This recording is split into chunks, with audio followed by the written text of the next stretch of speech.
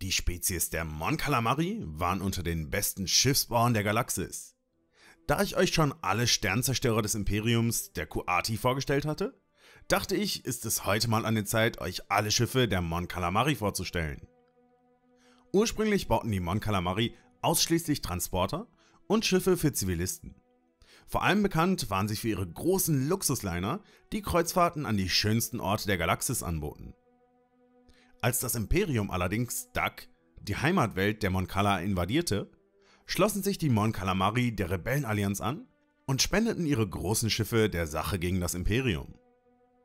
Ursprünglich wurden diese zivilen Schiffe aufgerüstet und mit Waffen ausgestattet, um mit ihnen auch größere imperiale Ziele angreifen zu können. Doch später, auch noch in Jahrzehnten nach dem Frieden zwischen dem Imperium und der neuen Republik, bauten die Mon Calamari eigene Großkampfschiffe, die für den Kampf entworfen wurden. Das erste Schiff, was ich euch jetzt hier vorstelle, war der sogenannte Luxusliner der M-Klasse. Über dieses wissen wir im Prinzip nur, dass es als Luxusliner eingesetzt wurde. Nicht wirklich viel mehr. Aber kommen wir lieber zu den Großkampfschiffstypen der Mon Calamari Kreuzer. Einer der kleinsten von diesen war der MC-40A Kreuzer mit einer Länge von ca. 500 Metern. Dieser wurde irgendwann kurz vor der Schlacht von Hoth designt und wurde sehr stark von der Rebellenallianz eingesetzt. Hauptsächlich wurde dieser kleine Kreuzer als bewaffneter Transporter oder Begleitschiff von größeren Schiffen eingesetzt. Mit einer Bewaffnung von 14 mittelschweren Turbolasern, mehreren Aufschlagsraketenwerfern und 18 mittelschweren Ionenkanonen konnte sich der MC-40A Kreuzer schon gut gegen andere Kreuzer seiner Größe verteidigen, aber auch gegen Sternzerstörer austeilen, wenn er musste. Das nächste Schiff, in ungefähr der gleichen Größe, war die MC-30C Fregatte, auch bekannt als Sternzerstörerkiller. Über dieses Schiff mache ich in Zukunft vielleicht nochmal ein eigenes Video, aber es soll so viel gesagt sein, dass diese Fregatte im Vergleich zu Sternzerstörern und anderen Mon Calamari Schiffen recht klein und zerbrechlich war. Doch diese Schiffe waren mit 16 mittelschweren Turbolasern und zwei Protonentorpedowerfern ausgestattet. Wenn solche Schiffe nicht gerade selber unter Beschuss waren, konnten sie ordentlich austeilen und damit Sternzerstörern oder anderen großen Zielen ziemlich gefährlich werden. Wenn sie einem Sternzerstörer allerdings alleine gegenüberstanden, mussten sie sich auf ihre Schnellig und Wendigkeit verlassen, da es nicht viele direkte Treffer von schweren Turbolasern brauchte, um diese MC-30C-Fregatten zu zerstören. Die wohl bekanntesten Mon Calamari Kreuzer sind allerdings die der MC-80-Reihe. Da Mon Calamari ziemlich individualistisch waren, hielten sie sich nicht so wie andere Schiffsbauer, wie die Coati zum Beispiel, an strikte Baupläne, um Schiffe zu bauen. Deshalb konnte sogar jedes Schiff einer Reihe etwas anders aussehen. Im Falle der MC80-Reihe wurde sogar sehr viel herumexperimentiert, weshalb hier viele verschiedene Designs erkennbar sind. Eins der bekanntesten dieser ist das Design der MC80 Liberty Klasse. Diese Schiffe waren 1200 bis 1500 Meter lang und mit sehr starken Schilden ausgestattet. Die Schilde dieser Schiffe waren sogar so stark, dass sie wesentlich mehr Treffer einstecken konnten, als es ein normaler Sternzerstörer des Imperiums je gekonnt hätte. Weshalb diese Schiffe oft in Flotten vorgeschickt wurden, um das Feuer auf sich zu ziehen. Sie waren mit insgesamt 48 dualen schweren Turbolasern und 20 schweren Ionenkanonen, zwar nicht schlecht bewaffnet, aber trotzdem längst nicht so schwer bewaffnet wie ein Sternzerstörer. Da sie aber wie gesagt so viel Schaden einstecken konnten, hatten sie in einem einfachen 1 gegen 1 gegen einen Sternzerstörer mit Glück genug Zeit, um dem Sternzerstörer genügend Schaden zuzufügen, bevor ihre Schilde zusammenbrachen. So waren diese MC-80 Kreuzer, wie auch die meisten der anderen MC-80 Reihen, das beste Match, was die Rebellenallianz gegen die Sternzerstörer zu bieten hatte. Die andere sehr prominente Variante der MC-80-Reihe waren die MC-80-Kreuzer der Home One-Klasse. Diese waren ca. 1200 bis 1400 Meter lang und besaßen den schlanken Körper der MC-80-Kreuzer der Liberty-Reihe, allerdings ohne deren Flügel. Die Bewaffnung dieser Schiffe war mit 36 schweren Turbolasern und 36 Ionenkanonen anders verteilt als die der Liberty-Reihe. Dafür konnten die Home One Kreuzer mit 120 Sternjägern auch wesentlich mehr Jäger aufnehmen als die Liberty-Reihe mit gerade einmal einer Kapazität von 36 Jägern. Ein weiteres Design waren die MC-80A Kreuzer, die genauso bewaffnet waren wie die Liberty Kreuzer, nur eben etwas anders aussahen. Und die Schiffe des MC-80B-Designs besaßen auch die gleiche Anzahl an Waffen. Hier wurde das Design des Schiffes aber so verändert, dass die meisten Waffen nach vorne zeigen konnten, ähnlich wie bei einem Sternzerstörer. Das maximierte natürlich die Anzahl aller Waffen, die auf ein bestimmtes Ziel vor dem Schiff schießen konnten, minimierte aber auch die Chancen des Schiffes, sich nach allen Seiten hin abzusichern. Zu guter Letzt gab es bei der MC-80-Serie noch die Evakuierungskreuzer, die dazu genutzt wurden, um Mon Cala bei einer Invasion zu evakuieren. Mehr wissen wir aber auch nicht über sie. Nach den MC-80-Kreuzern kommen natürlich dann die MC-90-Kreuzer. Das waren die ersten Schiffe, die wirklich als Großkampfschiffe designt wurden und keine Luxusliner waren, auf die einfach ein paar Waffen geklatscht wurden. Diese Schiffe waren 1255 Meter lang und mit insgesamt 75 Turbolaser-Batterien, 30 Ionenkanonenbatterien und 6 Proton-Torpedowerfern ausgestattet. Diese Kriegsschiffe hatten sich im Kampf so gut bewiesen, dass selbst 40 Jahre nach der Schlacht von Yavin die Galaktische Allianz diese Schiffe noch als Flaggschiffe in ihren Flotten nutzte. Doch dieses große Kriegsschiff reichte der neuen Republik nicht. Vielmehr wurden die Mon Calamari sogar damit beauftragt, ein Äquivalent zu den Supersternzerstörern der Executor-Klasse für die neue Republik zu bauen. Und auch hier mache ich vielleicht nochmal ein eigenes Video drüber, deshalb verrate ich nicht zu viel.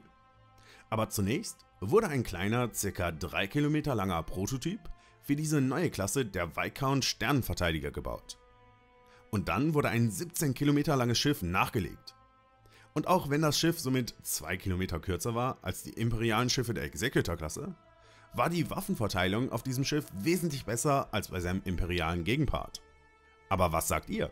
Soll ich über die auch mal ein eigenes Video machen? Schreibt es unten in die Kommentare. Zur Zeit der Neuen Republik gab es auch noch den Mon Calamari Kreuzer der Mediator-Klasse mit einer Länge von ca. 1500 Metern. Aber zu diesem gibt es keine offiziellen Bilder und auch sonst kaum Informationen. Genauso verhält es sich auch bei dem schweren Träger der Mon Calamari, auch genannt Blue Diver. Kaum Informationen, außer dass dieses Schiff eine riesige Anzahl an Truppen und Sternjäger transportieren konnte. Und hier haben wir auch nur fankreierte Bilder durch Mods von Empire at War. Bisher waren das alles Schiffe der Rebellenallianz oder der Neuen Republik. Aber auch nach der Neuen Republik, zur Zeit der Galaktischen Allianz, wurden noch neue Schiffe der Mon Calamari designt. Eins der früheren Schiffe war hier die Shah Shore Fregatte. Diese tauschte schwere Schilde und Panzerung für größere Schnelligkeit und Manövrierbarkeit ein. Sie war so designt, dass sie am unteren Bug eine Sektion hatte, die mit verschiedenen, leicht austauschbaren Modulen ausgestattet werden konnte. Dorthin konnte für eine große Angriffskraft ein Modul mit mehreren Aufschlagsraketenwerfern angebracht werden. Aber auch ein Modul mit erweiterten Sensoren oder eins mit Störsender war möglich. Auch wenn diese Schiffe nicht die stärksten waren, brachten sie durch ihre Vielseitigkeit und Modularität so gut wie immer einen Vorteil für ihre Flotte. Etwas später ließ die Galaktische Allianz dann die Schiffe der MC-140-Klasse, auch Scythe genannt, bauen. Diese Schiffe besaßen an ihrer Vorderseite eine riesige vertikale Klinge, an der die meisten Waffen des Schiffes befestigt waren. Das hatte den Vorteil, dass das Schiff eine große Anzahl an Waffen auf einen einzigen Punkt zielen lassen konnte was tödlich für die meisten Schiffe in dessen Weg war.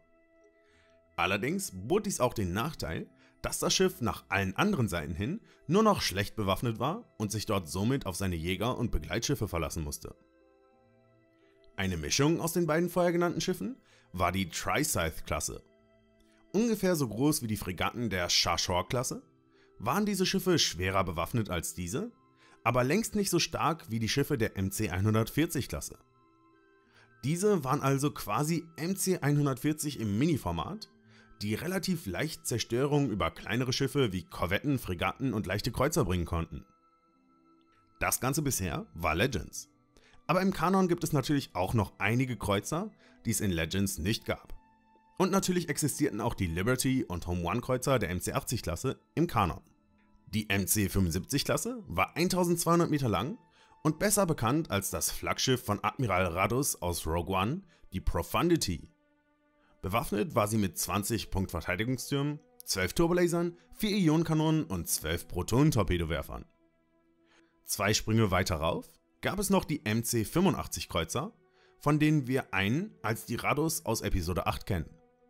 Diese Schiffe waren ca. 3,4 Kilometer lang und mit 18 schweren Turbolasern, 18 schweren Ionenkanonen, 12 Punktverteidigungslasern und 6 Protonentorpedowerfern ausgestattet. Und zu guter Letzt muss ich noch sagen, dass auch ein Schiff in den Klonkriegen von Mon Calamarischem Design war, nämlich die Recusant-Zerstörer der Separatisten. Eigentlich von den Mon Calamari designt, wurden die Pläne dieser Schiffe von Crown-Ingenieuren geklaut und dann für die Separatisten hergestellt. Somit waren diese Schiffe praktisch gesehen auch Mon Calamari-Zerstörer. Und damit kennt ihr auch schon alle bisher bekannten Mon Calamari Designs aus Legends und dem Kanon. Was sagt ihr?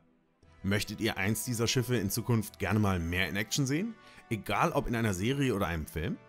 Und welchen davon findet ihr am coolsten? Schreibt es unten in die Kommentare. Und damit kommen wir zur heutigen Frage aus der Community. Sie stammt heute von Moritz Kleinschroth und lautet Meine Frage, kommt die siebte Staffel von The Clone Wars im Free TV oder im Pay TV? Ich weiß, ich habe die Frage jetzt schon öfter mal beantwortet, aber ich bekomme sie auch immer noch so häufig gestellt, dass ich sie jetzt hier nochmal beantworte. Und um ehrlich zu sein, haben wir da für uns in Deutschland bzw. in Europa noch keine Informationen zu. In den USA, wissen wir, wird die Serie auf dem Streamingdienst Disney Plus laufen. Das ist ein Dienst ähnlich wie Netflix oder Amazon Prime und nur Leute, die dafür bezahlen, können das dann da gucken. Da wird es aber vermutlich auch noch mehr Serien und Filme von Disney geben. Hier in Europa soll Disney Plus auch eingeführt werden. Das wird aber noch einige Jahre dauern. Wenn wir dann Disney Plus hier haben, werden alle neuen Star Wars Serien vermutlich erstmal da zu sehen sein und dann später irgendwann mal im Free TV. Da die siebte Staffel von The Clone Wars aber schon dieses Jahr erscheinen soll, geht das natürlich nicht über Disney Plus.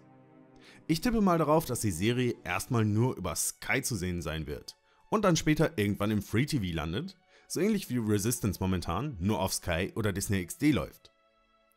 Natürlich wäre es auch möglich, dass die Serie direkt zu Netflix kommt, aber das ist eher unwahrscheinlich, denke ich. Und es wird, denke ich, auch irgendwann im Free TV zu sehen sein. Aber wenn die Staffel erst Ende diesen Jahres kommt, werden wir die nicht vor Ende 2020, wenn nicht sogar Ende 2021 im Free TV sehen. Mehr kann ich dir dazu leider auch wirklich noch nicht sagen. Wenn ihr mir jetzt aber auch selber eine Frage stellen wollt, schreibt sie hier unten in die Kommentare mit dem Hashtag FragSWB. Lasst mir doch ein Like und ein Abo da, wenn euch das Video gefallen hat. Und wenn ihr jetzt auch noch mehr über Raumschiffe der Rebellen erfahren wollt, Schaut mal hier in die Infokarte rein. Da verlinke ich euch ein Video über alle Sternjäger der Rebellenallianz. Ach und schaut morgen um 18 Uhr auf jeden Fall bei meinem Gaming-Kanal vorbei, da gibt es ein neues super geheimes Let's Play. Damit wünsche ich euch noch einen schönen Tag und möge die Macht mit euch sein.